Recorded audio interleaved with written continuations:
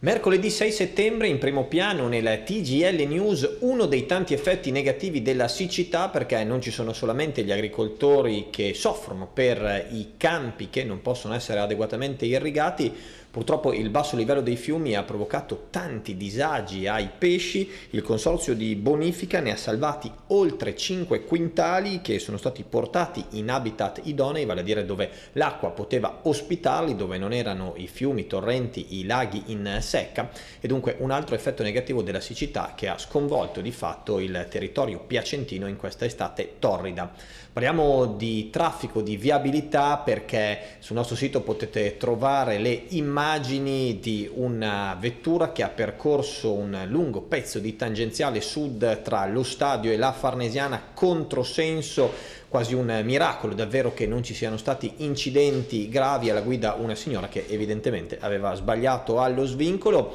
Restiamo in tema sempre di viabilità perché i negozianti, i commercianti, anche i residenti di via Alberoni chiedono all'attuale giunta che faccia marcia indietro rispetto ai suoi predecessori e ripristini il doppio senso di circolazione in via Alberoni. Secondo i negozianti gli affari sono calati e ci sono anche problemi relativi alla sicurezza. Chiudiamo con una notizia di calcio perché è ufficiale, Matteo Battistini è il nuovo difensore del Pro Piacenza chiamato a sostituire Matteo Abate che si è gravemente infortunato al ginocchio domenica scorsa nella trasferta di Carrara. Tutto questo e molto altro naturalmente nel TGL delle 19.30 sul nostro sito liberta.it.